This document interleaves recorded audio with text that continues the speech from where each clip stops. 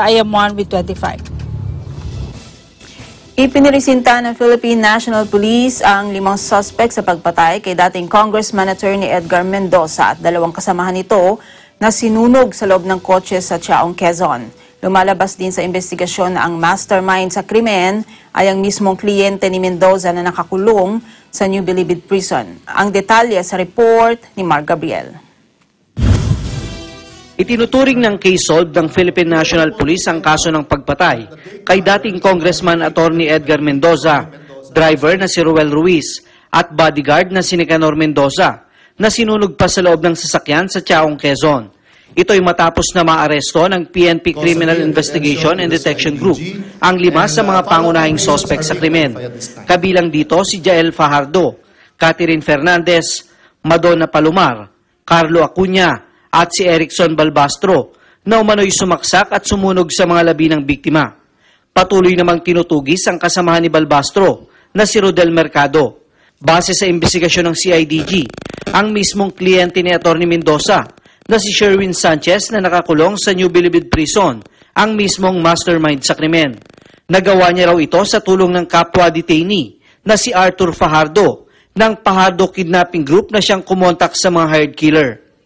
I understand uh, there was a disagreement on the amount to be collected and also uh, based on the revelations made by the witnesses and uh, some of the suspects themselves in a uh, confession, uh, there was really no intention on the part of the suspects to pay the amount agreed by them. So instead of paying the amount uh, amounting to uh, millions of pesos, they just contracted uh, uh, hired gun, uh, or they contracted killers for the killing of uh, Congressman Mendoza for the sum of 100,000 pesos.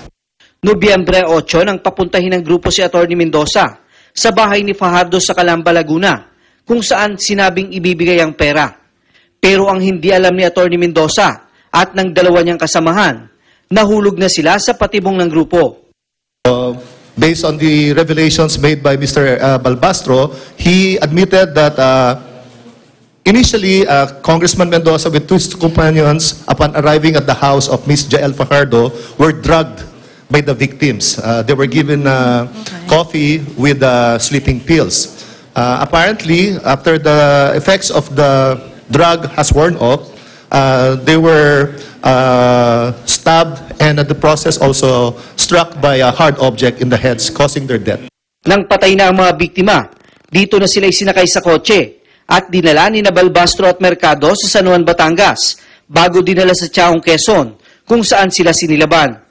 After, ang unang nahuli si Christine, followed by Madonna Palermo. Madonna Palermo was the one who served the drinks with uh, uh, sleeping uh, concoction.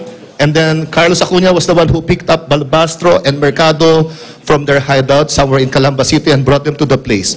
Sinampahan na ng three counts of murder sa Department of Justice ang anim na sospek, habang patuloy na tinutugis ang sospek na si Mercado at dalawa pang John Does. Para sa Eagle News, Mar Gabriel, I am one with 25.